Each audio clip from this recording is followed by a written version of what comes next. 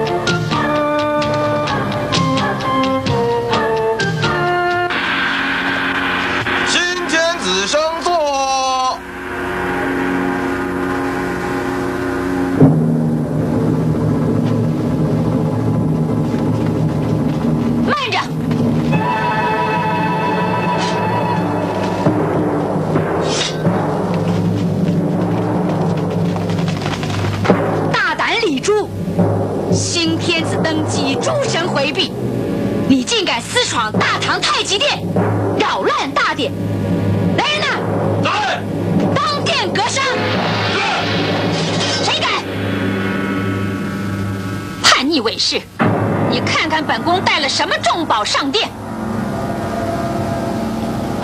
左握传国玉玺，右举金批令箭，胸前挂着大唐天子流传万世的皇帝传位金锁片。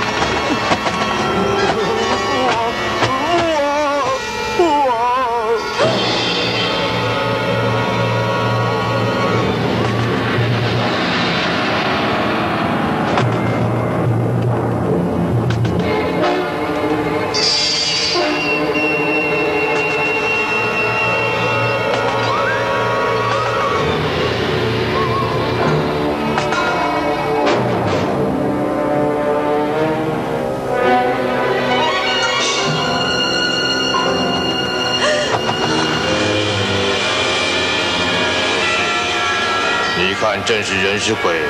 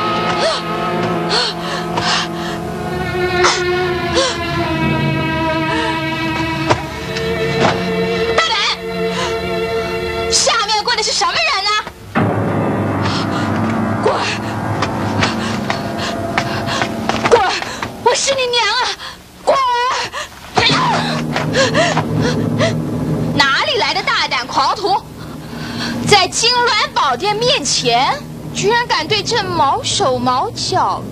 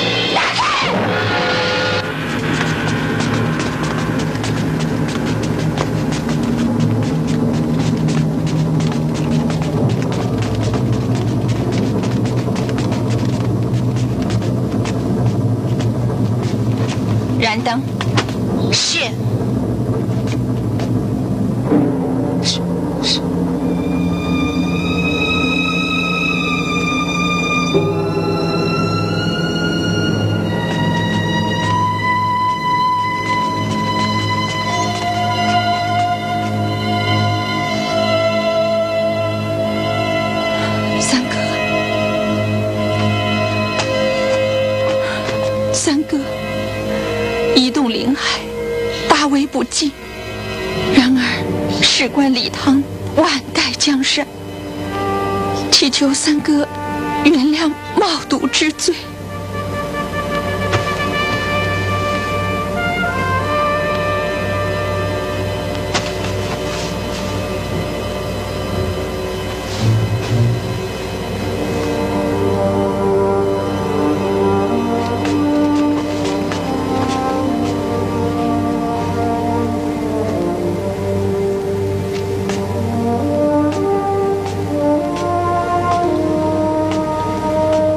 小心夷陵，到二进偏厅。是。林立奴婢在。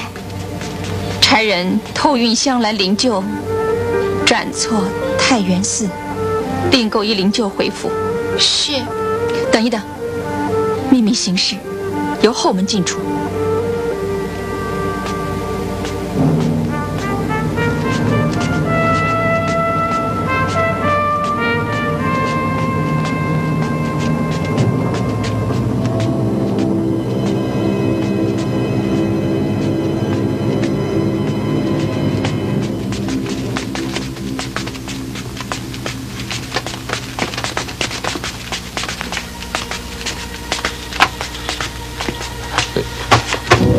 民叩见公主、王爷。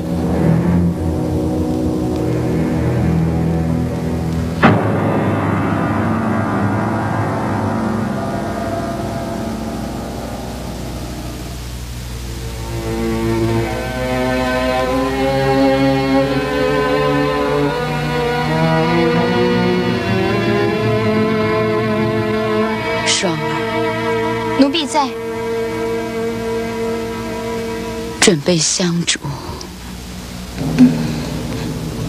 是。娘娘，你是要？本宫只怕再也见不到明天的太阳。我要祭告祖先，拜别天地。雪儿，奴婢在。备水，我要沐浴净身。是。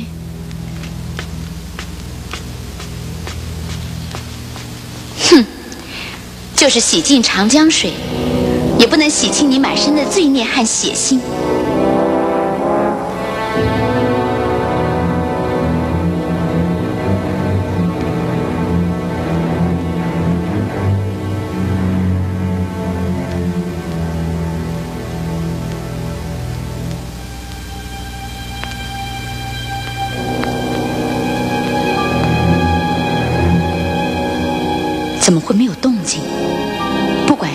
是鬼，对我就会这样算呢？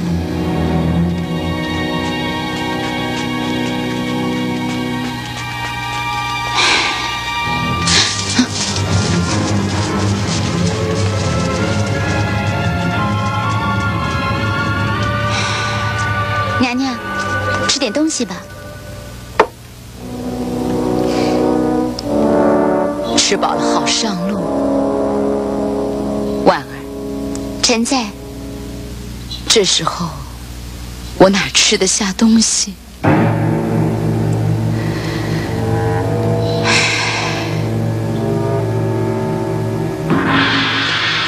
请四哥、崔先生、杜大哥、优吉表哥。昨天我们辛苦了一夜，今天正好轻松愉快的庆功宴。四表哥，如果要说这是庆功宴，那就应该由杜大哥首席。呃，对，昨天晚上在太极殿上，差一点让韦氏派人把我给杀了，所以杜大哥昨天晚上立的头一功就是阻止韦氏谋篡，保住了大唐的万里江山。不不不，要不是公主的运筹帷幄、指挥若定，在大唐存亡绝续的紧要关头时候挺身而出，一举粉碎了篡逆的天大阴谋。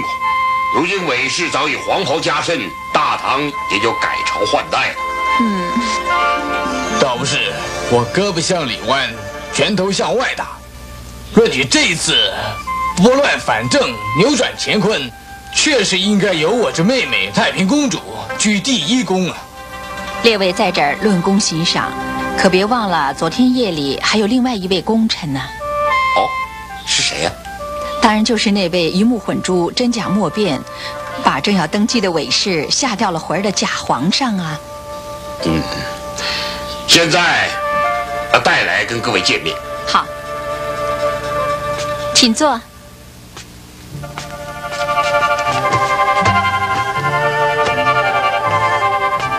妹妹，你这次安排妙计，力挽狂澜，真可以说是古之未闻，今所仅见，简直是妙不可言呐、是啊，姑妈，侄儿有一事不解，姑妈是怎么样想到用假皇上这一计的？当年，徐敬业找到这个假皇帝，假冒三哥，引起了一场轩然大波。这一次三哥之死，北氏密不发丧，骤然之间篡位登基，实在叫人猝不及防。所以，在一夜之间，我焦思苦虑，终于触发灵机，想起了真假皇帝这一计。你这一计挽救了大唐社稷，立家天下，足可胜过百万雄兵呐、四哥，你这个胳膊往里弯，也弯得太过头了吧？皇上驾到！哎，听着啊，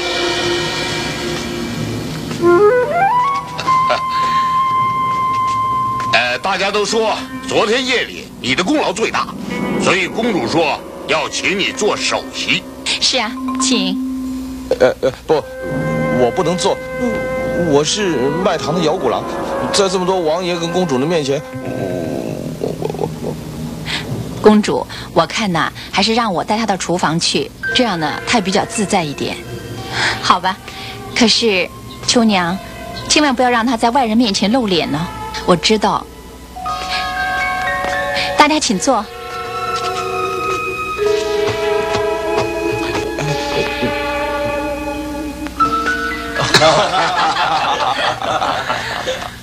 如果韦氏知道这个卖糖的姚古郎下掉了他的皇帝宝座和万里江山，他不气炸了才怪呢。来，请，请。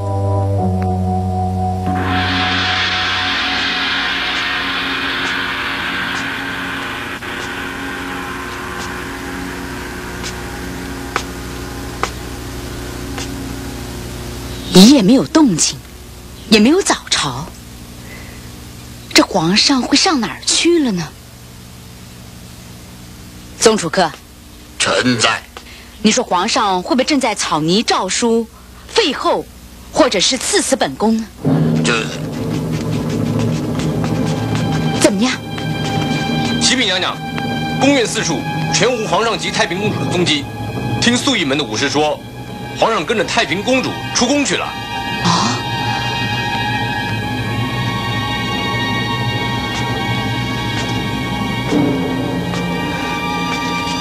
住到太平公主那儿去了，这可怎么得了？呃，哦，你先下去。是。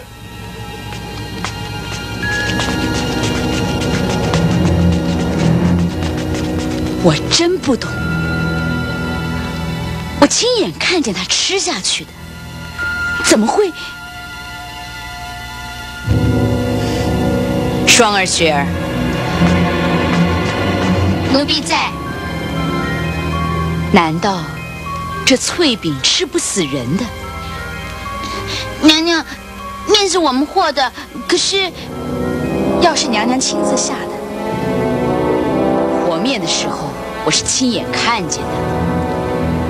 可是你们忘了最要紧的一点。嗯，娘娘说的是药，可是你们买的。你们买的是什么药？娘娘，你所说的砒霜，砒霜，砒霜难道吃不死人？娘娘，可是有人没死。谁？上官婉儿。妹妹，三官尚未沮丧，你怎么？四哥，今天韦氏登基称帝不成。并不是因为妹妹带了传国玉玺、镇国金批令箭跟传位的金锁片，你也亲眼目睹他想屠杀我们，然后抢夺这三件宝物。他之所以胆战心惊、弃位而逃，完全是因为看到三哥的出现。哼，表妹说的不错，韦氏的确可怜，而且狼狈。对，这恐怕是他这一辈子唯一的一次活见鬼了。这完全是因为他做贼心虚，所以疑神疑鬼。不过，他也可能怀疑出现的三哥是人不是鬼。当时事出突然，不管是人还是鬼，都可以让韦氏魂飞魄散。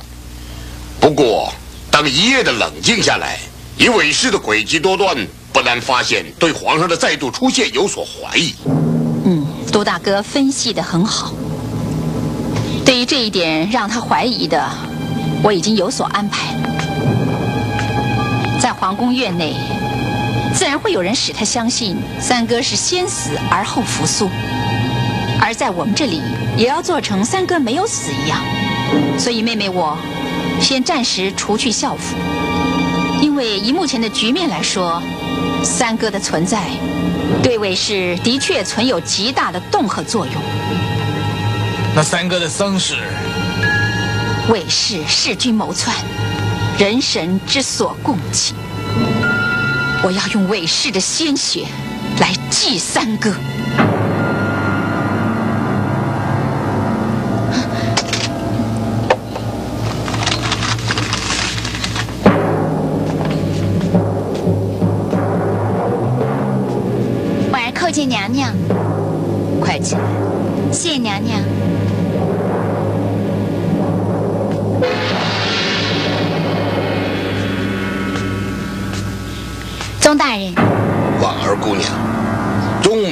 斗胆直问，希望姑娘实话实说，此事关系非常重大。啊，我知道。大行皇帝冰天之日，听说婉儿姑娘也吃了那个毒饼。是的。哦，只不过皇上多吃了几块，婉儿只吃了一口。启禀皇后，砒霜又名砒霜，砒性猛于砒，故名。辛酸、大热，有剧毒，吃一口跟吃一个没有什么差别。谁也不知道哪一口砒霜多，哪一口砒霜少。敢问姑娘，吃饼的那天，除了平常正常的饭食之外，还吃过什么特别的美味？哦，那天送来了一盘绿豆糕，皇上还开玩笑的说，中秋节吃绿豆糕。也算是阴错阳差，于是，于是你跟皇上就各吃了几块。是的，婉儿姑娘，你仔细想一想，除了绿豆糕之外，还吃过什么特别的异味？还还有，皇上不知道从哪儿听来的，说什么先阳血滋补。皇上恩赐，婉儿也就跟着喝了一碗。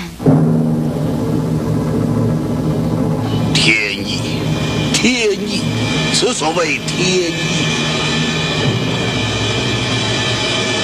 宗主客，此话怎讲？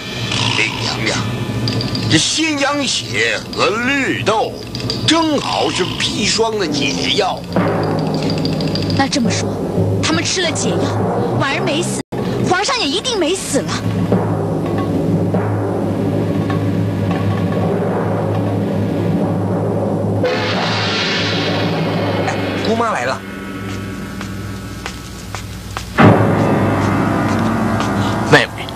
是什么事儿，让你这么开心呢？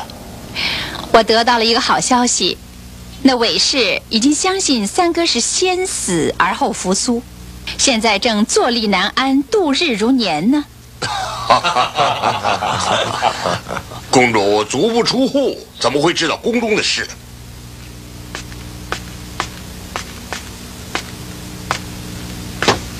表妹，难道你也有崔先生的神机妙算？哈哈哈哈！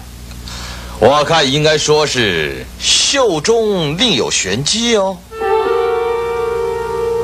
崔先生果然是明眼人。哈哈哈哈哈！姑妈。既然那韦氏他相信三伯父未死，我们何不再叫那卖糖的姚谷郎再假扮一次三伯父，进宫升殿，去把那毒妇韦氏凌迟寸剐，挫骨扬灰？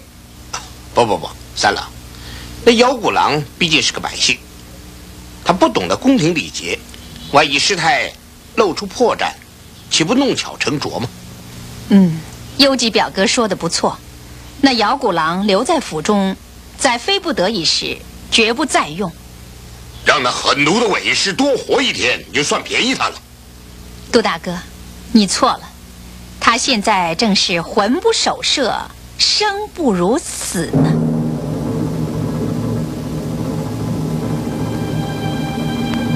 娘娘，这样好吗？娘娘。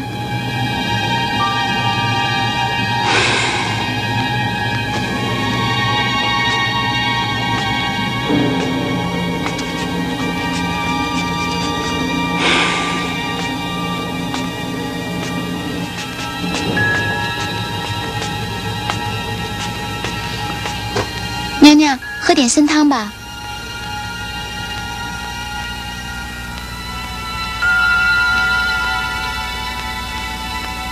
皇上，皇上回宫了。皇上，皇上，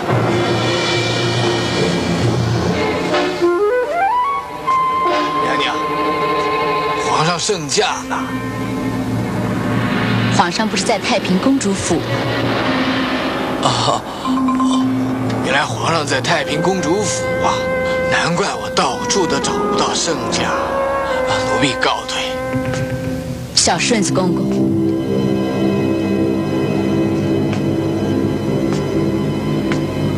娘娘，您怎么称呼奴婢公公呢？奴婢可消受不起呀！平民百姓家常说，爹娘屋里养条狗，我们做儿女的都得敬他三分，更何况公公是先皇先后身边的老人，那还骂我是狗？古圣人说：“知错能改，善莫大焉。”我已经知道错了，我可以发誓，只要皇上饶了我这一回，我一定痛改前非。这，只求公公替我传句话。请皇上看在我们二十多年夫妻的情分上，娘娘，奴婢卑贱如狗啊！若在皇上面前狗吠出声，皇上可能会嫌呢。公公，是啊，一夜夫妻百日恩嘛。哎，有了。娘娘，您不妨做几个皇上最喜欢吃的脆饼，给他送去。那或者小顺子，既然娘娘没有时间做饼，奴婢这就替娘娘回话，奴婢告退。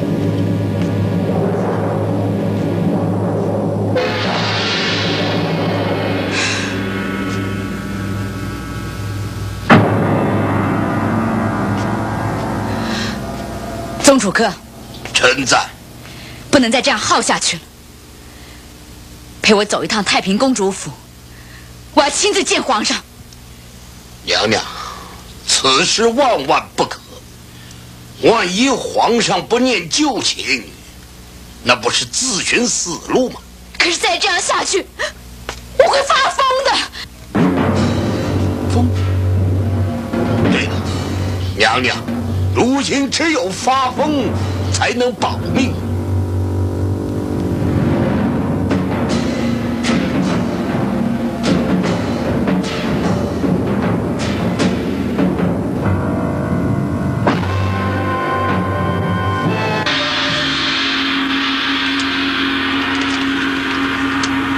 皇榜上写的是宫中访求良医，为治疗安乐公主的风疾。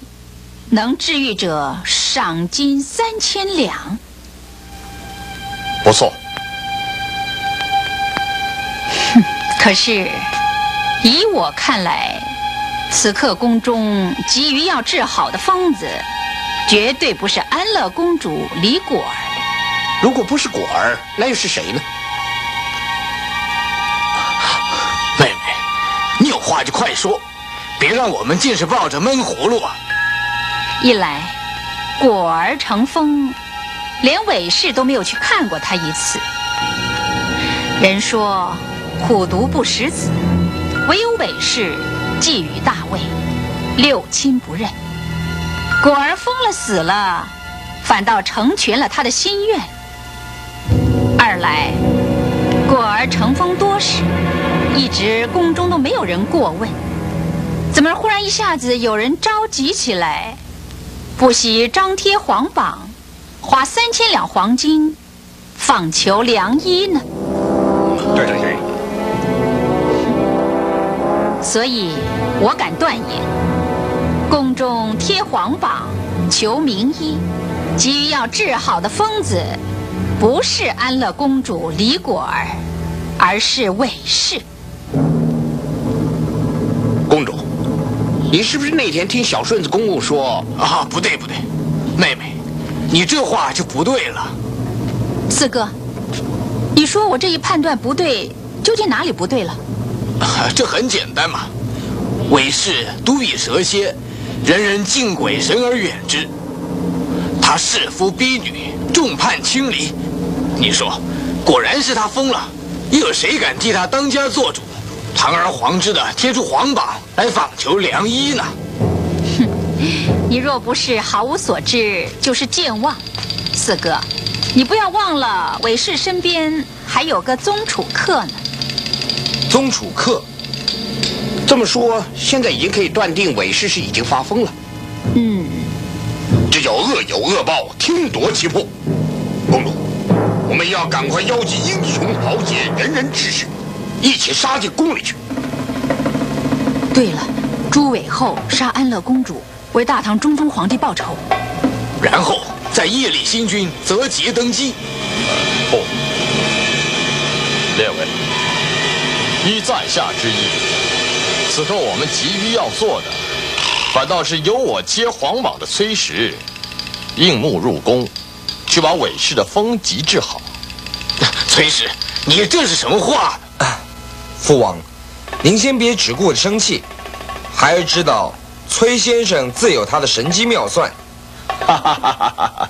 神机妙算倒不敢当，倒是姿势体大，我还得请示一下当日我们歃血为盟的盟主，大唐镇国太平公主殿下，请公主明示，在下是否应该即刻进宫应邀行医？崔先生，本宫非但认为你应该尽快入宫应邀行医，而且要赶快想法子使韦氏风疾尽去，恢复神智。崔氏谨遵所命。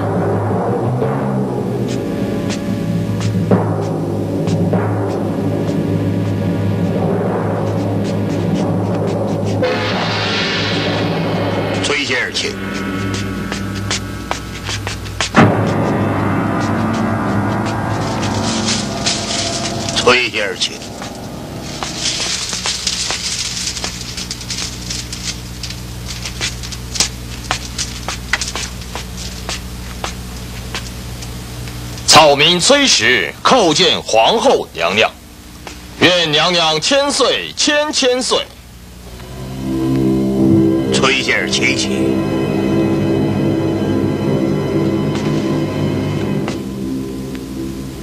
有请娘娘右手。雪儿双儿，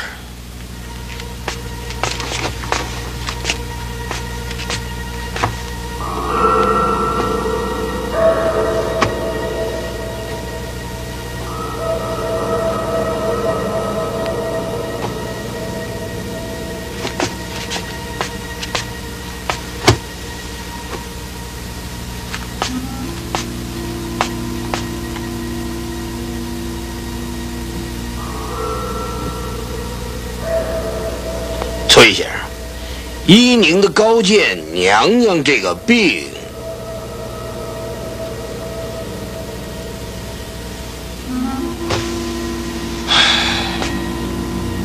天崩地裂，石破天惊，因而心力交瘁，生死两难。依在下看来，娘娘所得的是必死之病啊。必死之病。先生，您是说娘娘这个病治不好，非死不可？切！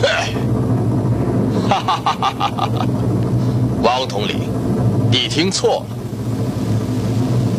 在下所谓必死之病，哈哈，就是躲避的避，逃避的避，闪避的避。避过的避，怎么会有这种病啊？这这还第一次听说。王统领，打个比方说吧，有人做了伤天害理、灭绝人伦的事情，明知道躲不过性命，见不得众人，哼，就只好得这种必死之病。崔先生，外听说话。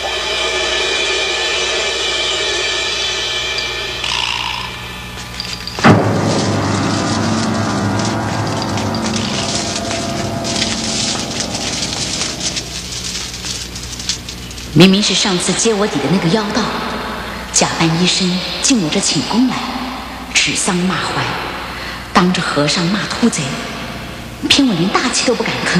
唉，皇天，我这一辈子岂是受过这种罪？王统领，你到走廊上守着，任何人不准进来，把内侍撤下去。是。走。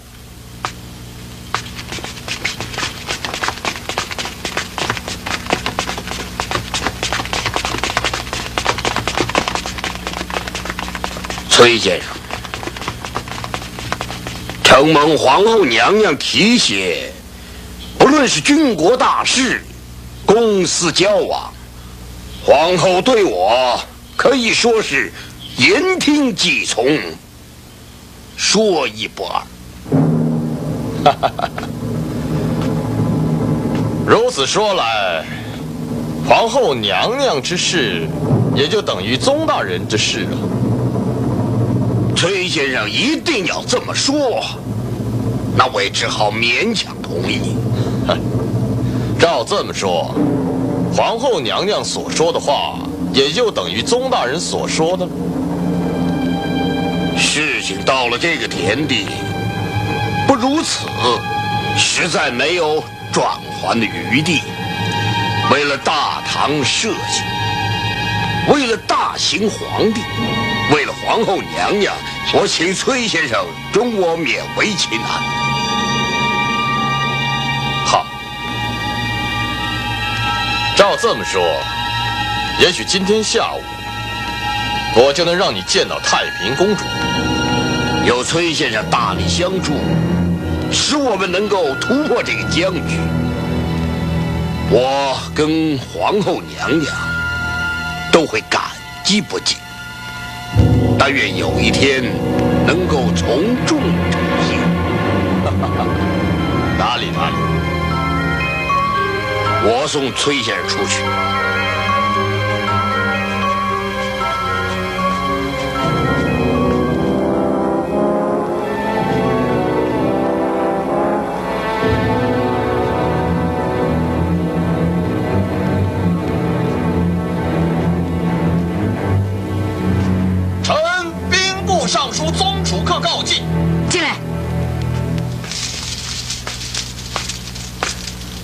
娘娘，宗楚客，今天晚上派人把那个姓崔的给我杀了。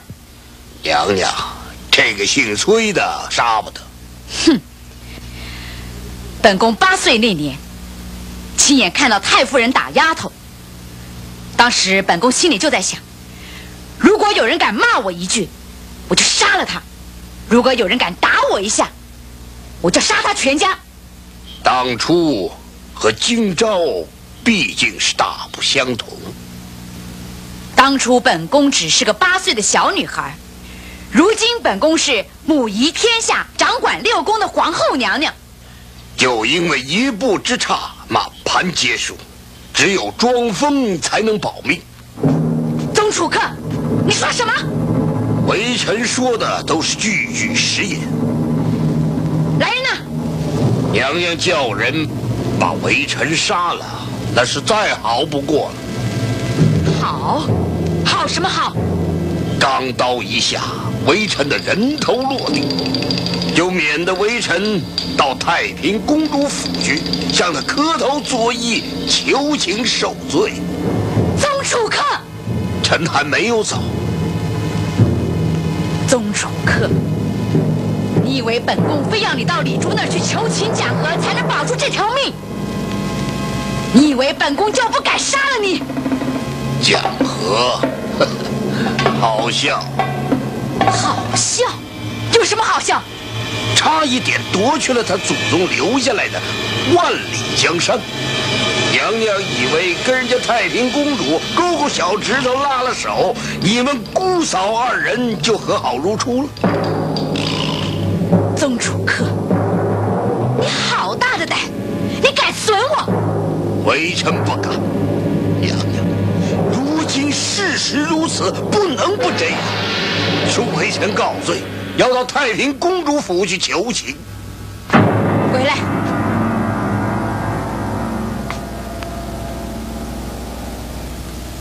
不要把我说的太可怜了。微臣自有分寸。还有，最好能够亲自见到皇上。微臣尽力而为。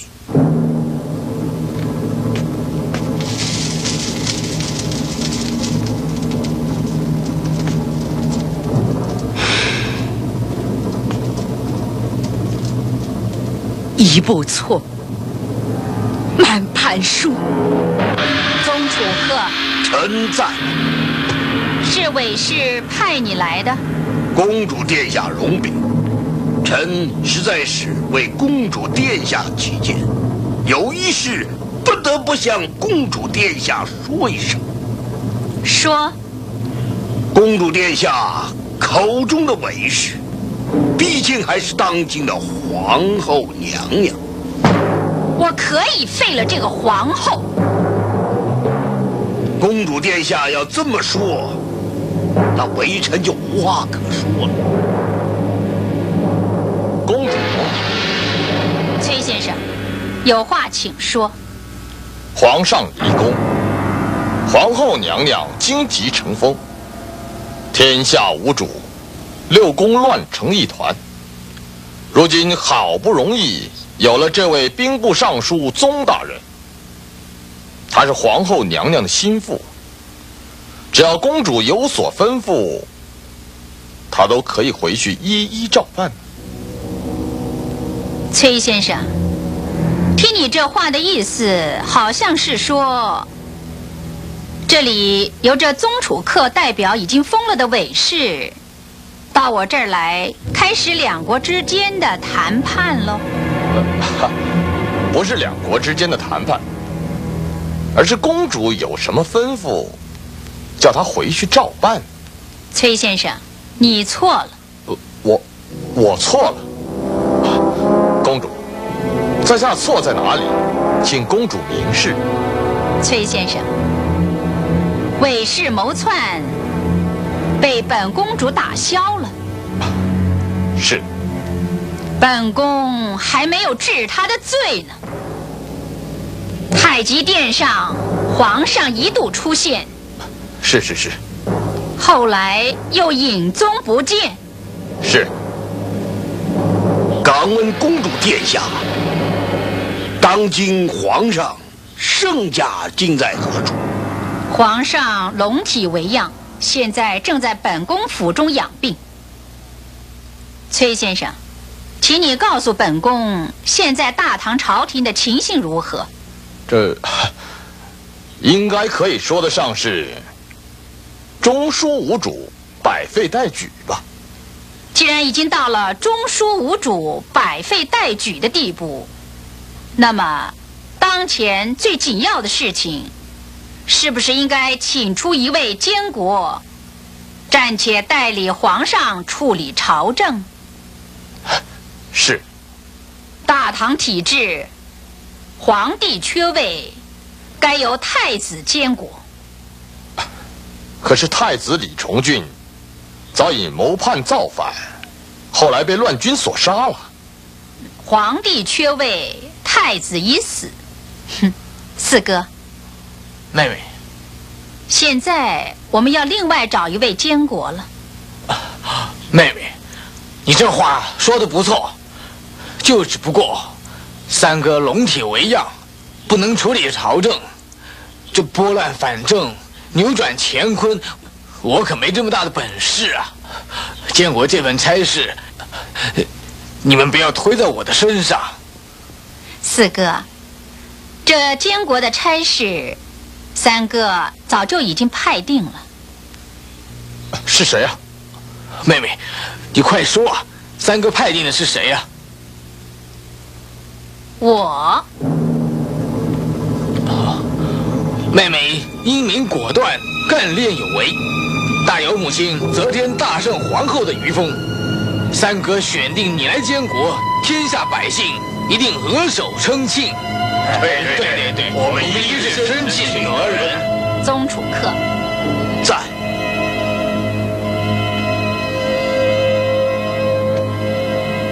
就凭皇上亲手交给我的这颗传国玉玺，我说皇上命我监国，你有没有什么话要说？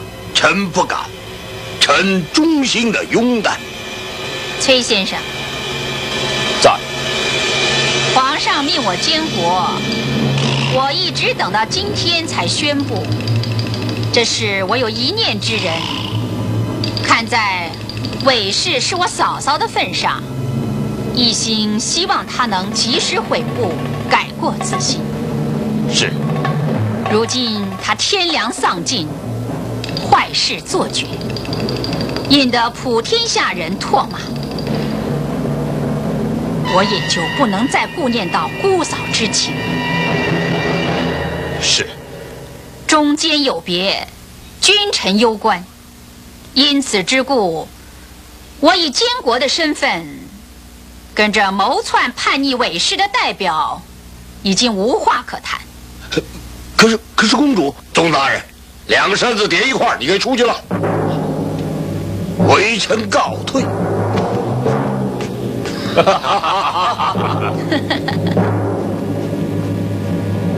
太平公主要监国，她是为了要废掉武氏，还是有夺取皇位的野心？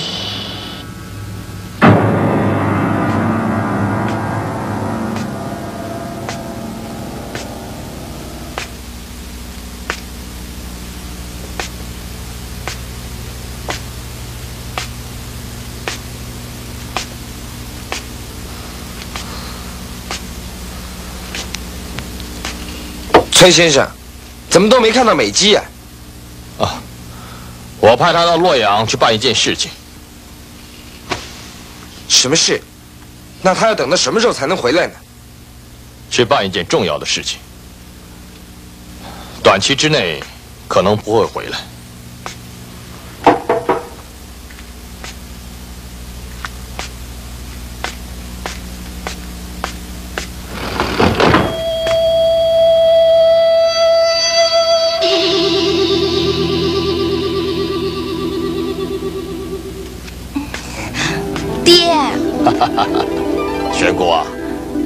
赶快见过平王李隆基，李三郎。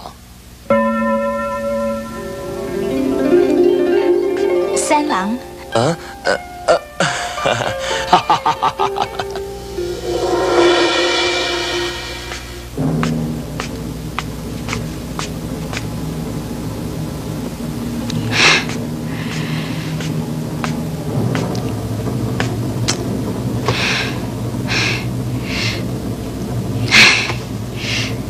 宗楚客到太平公主府，怎么到现在还没有回信儿呢？婉儿，臣在。依你看，皇上会不会一声不响的又回到宫里来？娘娘，你是不是心里有点害怕？想起登基那天的情形，到现在我还心惊肉跳的。双儿雪儿，在。娘娘今天吃了些什么东西没有？婉儿，你问他们这些干什么呢？这两天我水米未沾，一闭上眼睛，就看见皇上指着鼻子骂我。婉儿，你说老实话，皇上会不会再回来？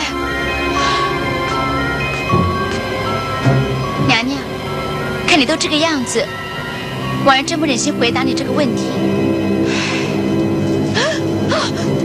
婉儿，是不是皇上来了？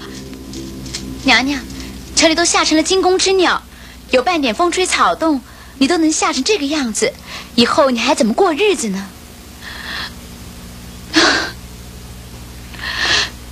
婉儿，你真是说中了我的心事。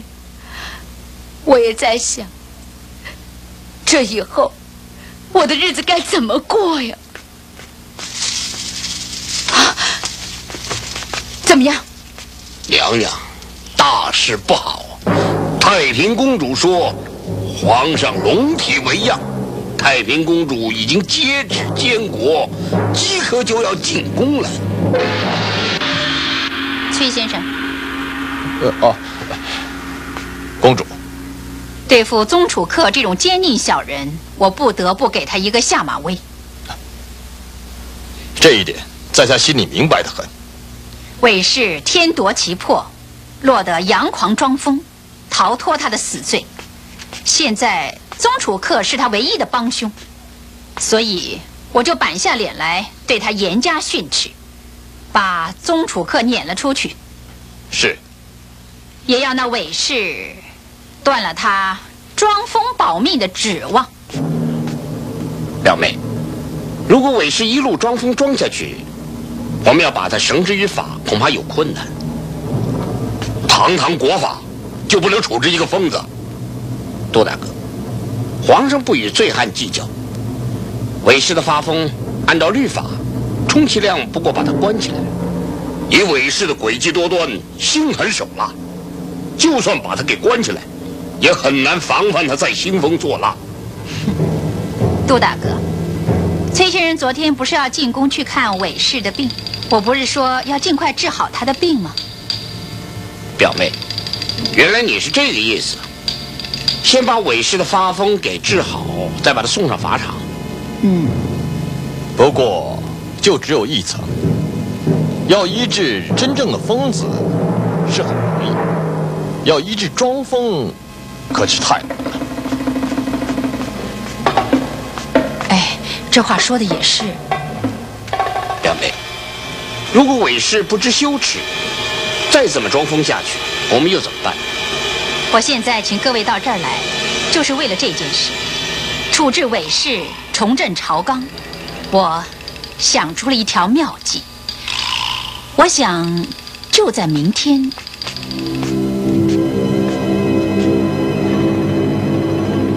样子，李珠坚果正是他要登基为帝的第一步。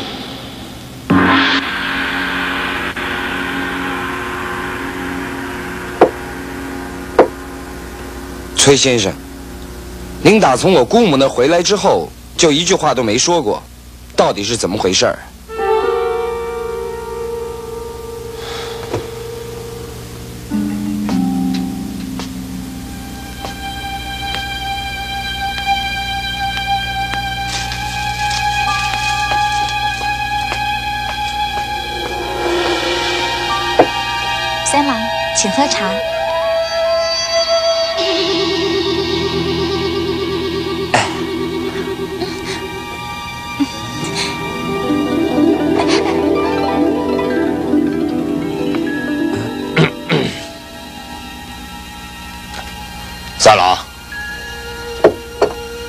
这会儿你该改口了吧？改口？改什么口啊？哼，你该改口叫我老丈人。老丈人，哈哈哈哈好吧，此刻我只准你叫一声，咱们到此为止。三郎，在。我有两个女儿，她们命中注定是你的妻妾。我看得出来，美姬对你是一片情深。玄姑嘛，我想也不必说，你们心里都有数。我大概不会把我的女儿嫁错人吧。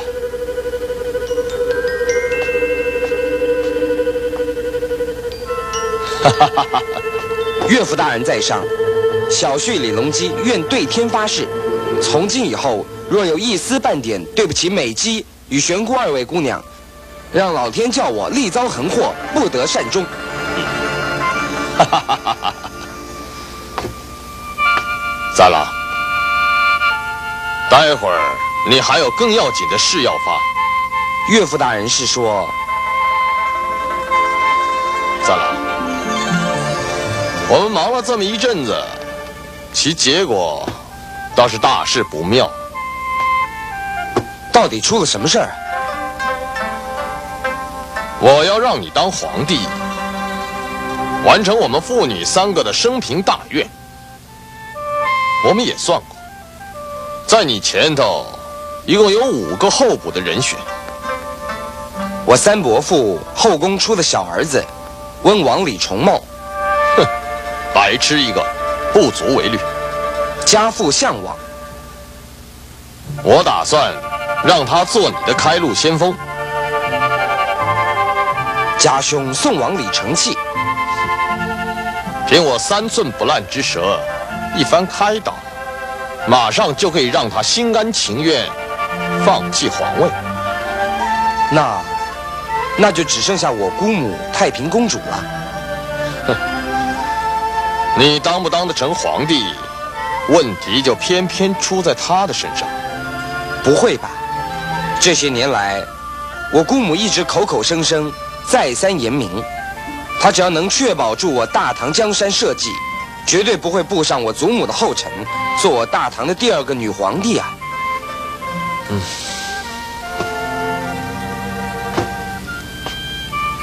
起初我也以为她是个胸襟磊落赤胆忠心的奇女子不出闺阁就可以拨乱反正、安邦定国。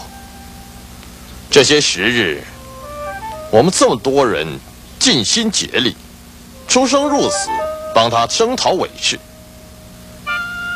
谁知道，连我都上了他的大当。上了我姑母的大当，你不相信？明天我们就等着看。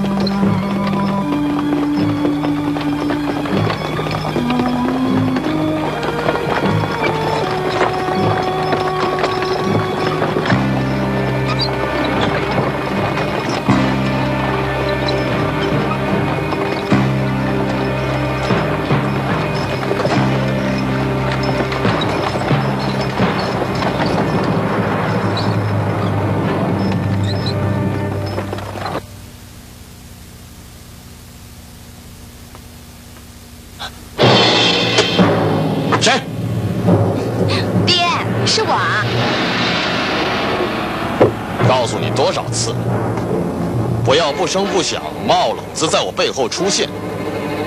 要是我回手一镖，你这条小命不就没了吗？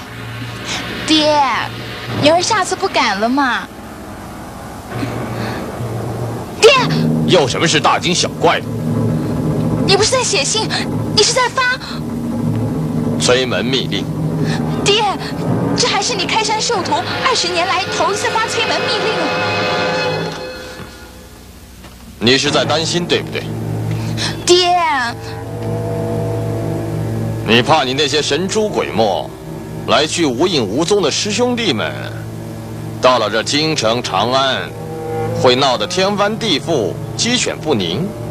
爹，女儿只是在想，应付当前大局，永历三郎当皇帝，你就要出动那三十六名师兄弟，不免令人觉得杀鸡而还要用牛刀之感呢。你毕竟年纪还小，见识浅薄，你哪里晓得太平公主李珠的厉害？爹，难不成你你破釜沉舟，发出密令，调齐了三十六名师兄弟，就只是为了要对付太平公主吗？韦氏积数十年的暗中惨淡经营，结果还是败在太平公主之手，而且结局之惨，可能出人意外。玄姑，爹一世英名，就绝不能重蹈韦氏的覆辙。爹，三十六位师兄弟一到，长安城王公府地，岂不是又要腥风血雨、哀鸿遍地了吗？泽国江山入战途，声名何计乐乔苏。平君莫话封侯事，一将功成万骨枯。你想想看，一将功成，都得要上万条性命的牺牲，何况我们是在永立一位大唐皇帝。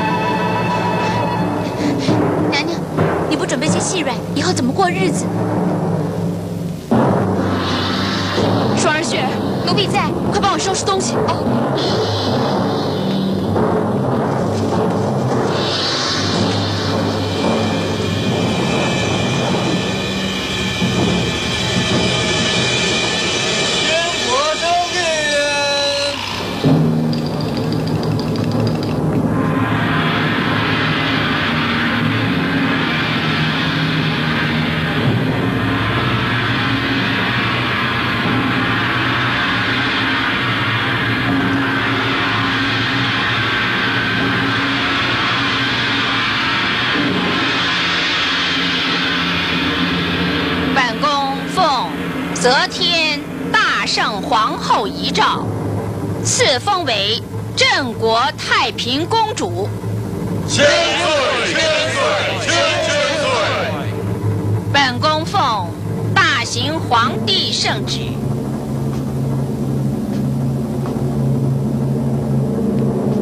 圣旨曰：朕因养病疗毒，无力掌理朝政。然天下不可一日无主，欲妹镇国太平公主，因念在同胞手足之情，甚于保管朕所托付之传国玉玺，重号监国，如朕亲临，钦此。万岁！万岁！万万岁！平身。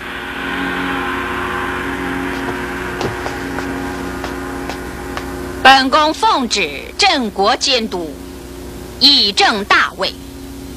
鉴于韦氏逆行谋篡，妄行登基，上甘天怒，下及民怒，实属罪无可赦。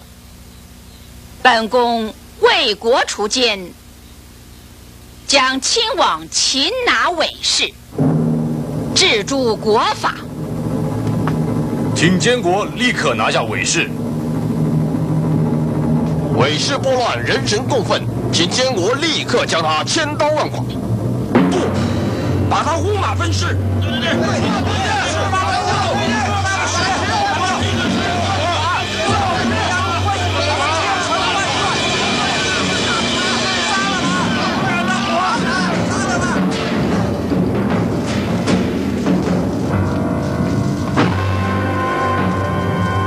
娘娘，我来帮你吧。哎，王统领，你这是干什么？哼，你这皇后都快被杀头了，我还干什么统领？放手！放手！还给我！放手！还给我！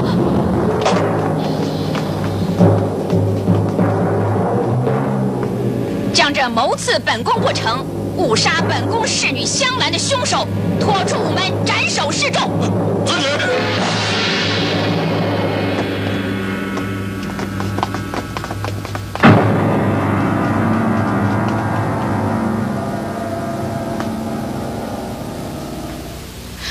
妹妹，魏氏，多行不义必自毙。你总算也有今天。来人呐，在，把卫士押入天牢。对。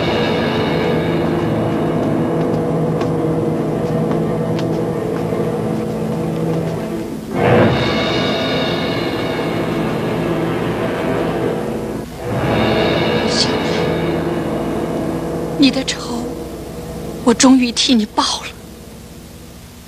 三哥，等妹妹三殿会审韦氏，定他的罪，妹妹必以这毒妇的鲜血来祭三哥。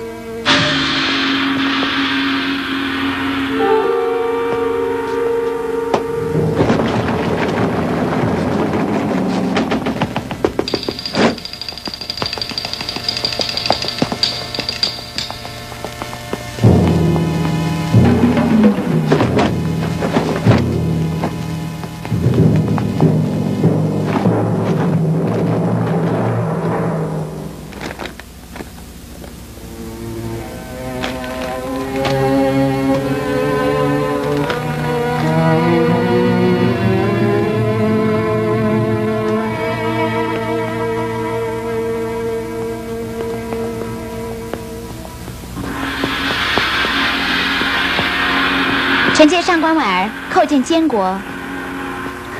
婉儿姐姐，在这御书房里，我们还是姐姐跟妹妹。监国正位，我正好被韦氏所伴着，所以没有办法到太极殿去朝贺。我知道，韦氏入狱之后，你又忙着来整理奏章跟文书呢。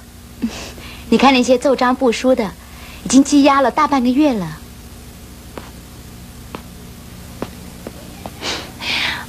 婉儿姐姐，以后还要你继续佐理招令文书呢。婉儿能为监国效劳，是婉儿的荣幸呢。谢谢你了，婉儿姐姐。不过我不会麻烦你多久的。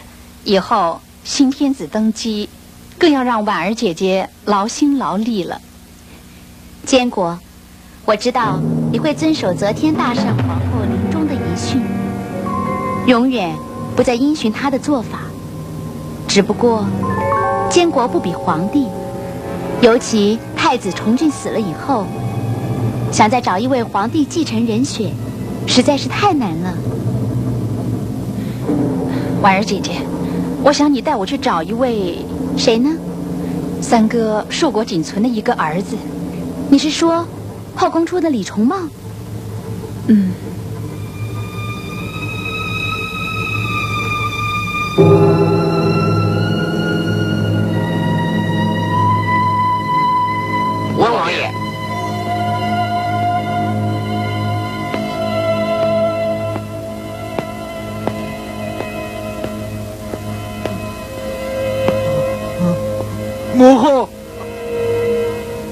谁准你叫我母后的？母后，你不要生气。你现在又饿着肚子，又发脾气，真的对你的身体不好哎。滚！少在这烦我。好，我滚。母后，我现在把吃的留在这里，你一伸手就够得着的。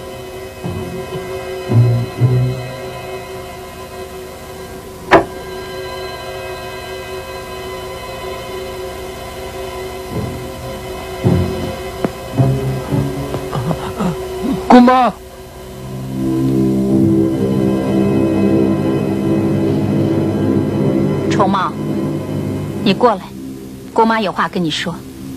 是。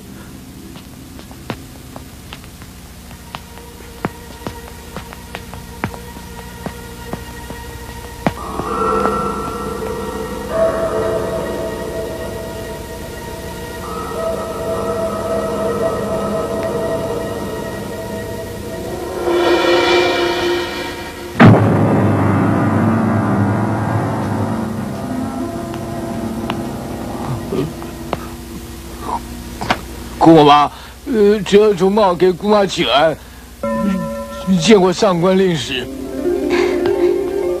温王爷，你怎么跟我磕起头来了？上官令史是父皇心腹之人，我我跟令史磕这个头，其实就是要谢谢令史平时对父皇的照顾。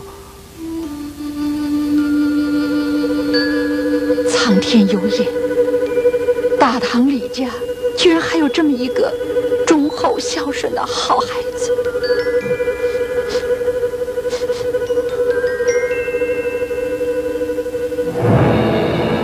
国王李重茂，是。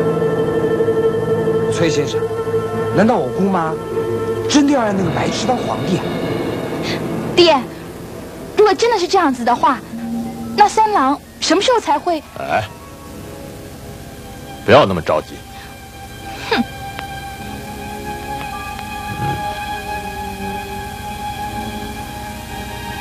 山人自有妙计。监国、宗室、国戚、三殿会审、韦氏，这是你多日以来所共成的二十七条大罪状，你拿去画押吧。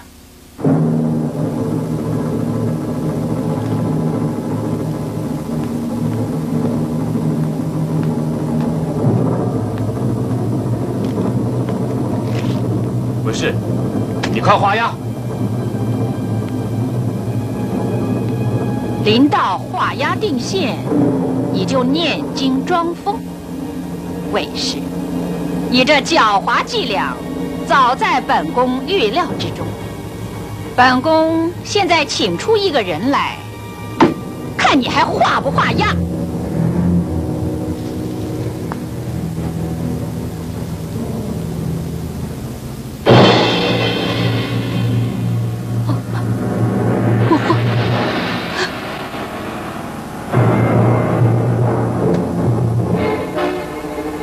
卫士，不赦，一律处绞刑，并三日之后押赴市曹，当众处死。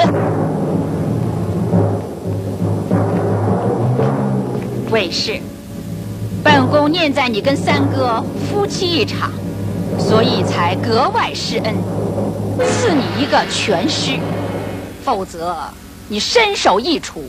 你就永远不得超生。多谢监国恩典。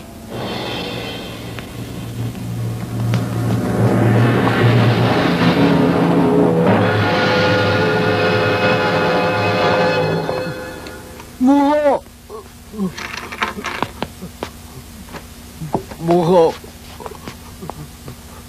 明天正午，你就。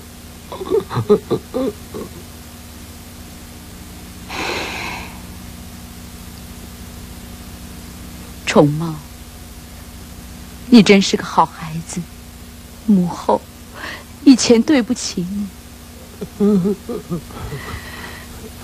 母后，我心里想，你也好可怜。刚才我去求姐姐见你最后一面，可是她一直笑。她说，她还说她当了皇帝。是皇帝就不能进天牢？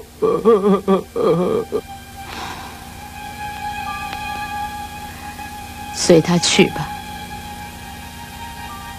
好歹我们母女都是一个命运。他现在能活着，可是什么都不知道。我现在什么都明白了。偏偏明天就要死了，母后，你不要再说了，我心里好难过，我心里好难过。丑茂，你真是个孝顺的好孩子，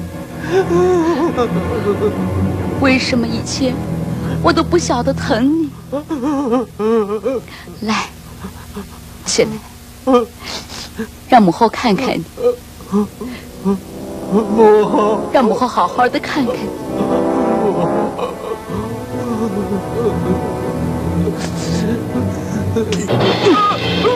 母后。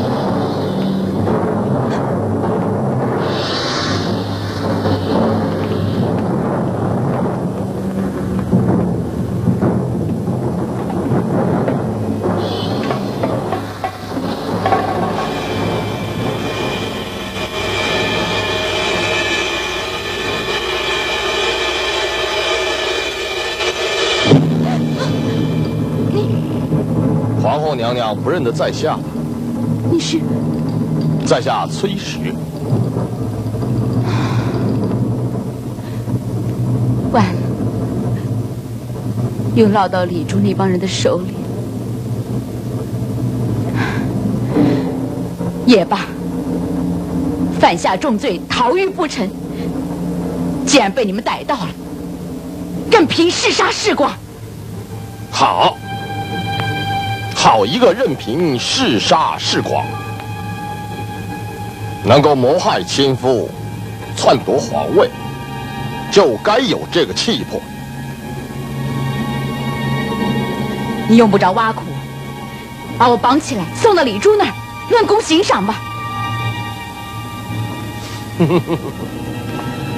要是我把你交给太平公主李珠的话，就不知道他会给我什么样的奖赏。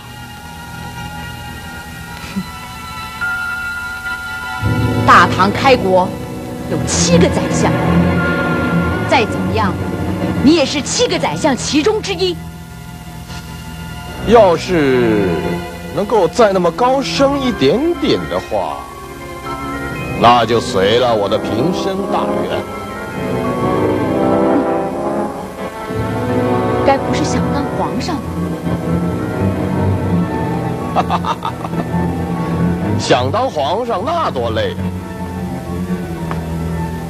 你自个儿不就刚刚尝过了当皇上的酸甜苦辣了？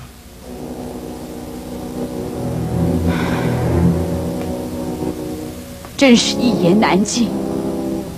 现在只要有一条生路，我就谢天谢地。要是我能放你一条生路呢？藏金三万两，全部奉送。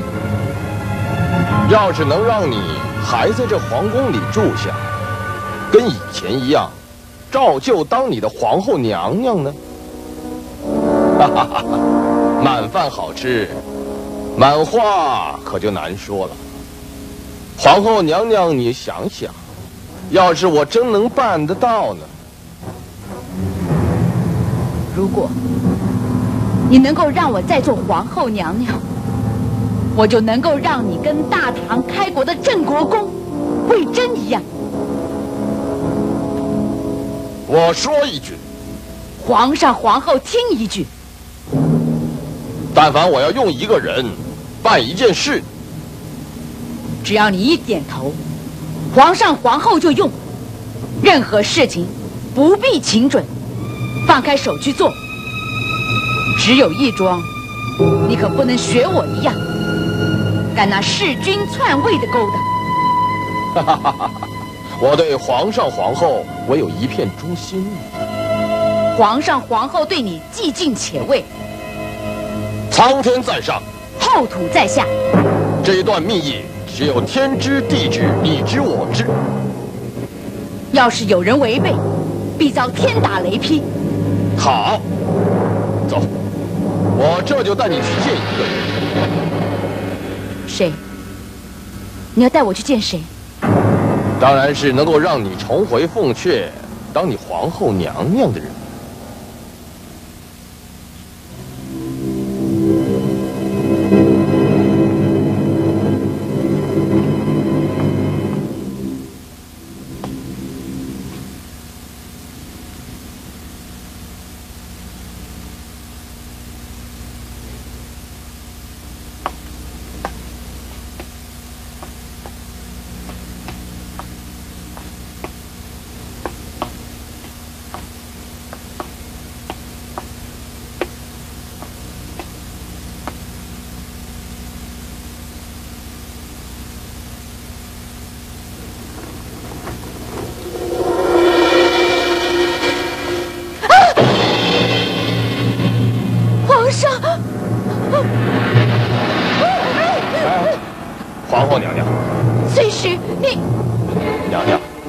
你再看仔细一点，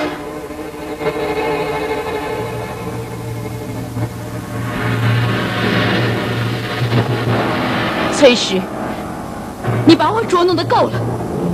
娘娘，您先定定神呐。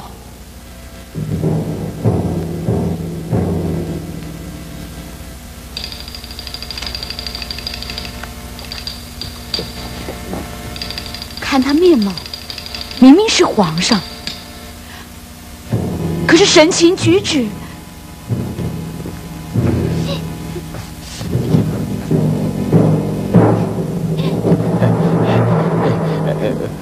婉月姑娘，你们别见笑，乡巴佬很少穿过这么好的衣服，还挺不习惯的。不对，说话的口气完全不像皇上，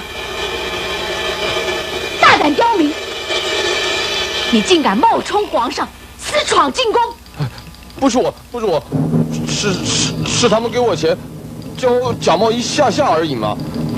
你竟敢假冒皇上，吓唬本宫，吓掉了本宫的万里江山，还差点连命都吓掉了。看本宫不抽你的筋，扒你的皮！你不要这么凶啊！我到了京城，公主王爷也也不知道借了多少，大家都客客气气的，就没见过像你这么凶的。你把我害得好苦，看我怎么治你！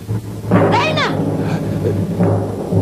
娘娘，千万不要大呼小叫，要知道，此刻你的身份仍然是天牢里待决的死囚啊！崔先生，你不是答应过要让我再当皇后娘娘的吗？那你就应该明白，能让你再当皇后娘娘的，还得靠这个人呢。靠他！三郎全姑在。在你们两个在这好好的伺候皇上，我跟娘娘出去一下。是娘娘在上，容臣护送娘娘回宫。回宫？我现在就能回宫吗？回宫以后，臣才能跟娘娘揭开谜底，再召集娘娘的亲信，共商大计。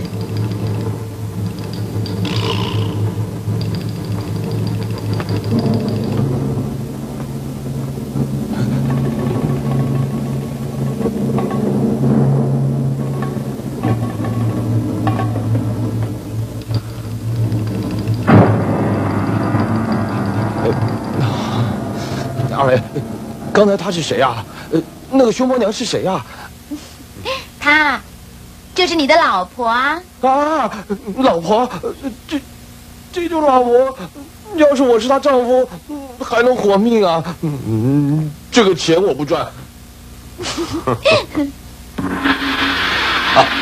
崔爷，照皇后娘娘这么一说，你我之间是昨日之敌，今日之友啊！崔某这一生，为人处事只有八个字：非敌即友，非友即敌。好厉害的角色，心狠手辣，只怕比娘娘还要生几分。今后可要小心。钟楚客，臣在。从现在起，你要改口称呼崔先生为相国大人。相国大人，婉儿，臣在。你倒是说说看，我为什么要拜崔先生为大唐相国呢？是，相国是秦始皇所设的官职，位在宰相之上。从古至今，只有秦代吕不韦、汉代萧何，还有彭越三位相国。如今娘娘拜崔先生为相国，那么崔先生可以说是古来第四，大唐的第一位相国了。相国，刚才我不过是答应你，为同开唐郑国公魏征。这会儿我已经拜你为相国大人了，你该心满意足了吧？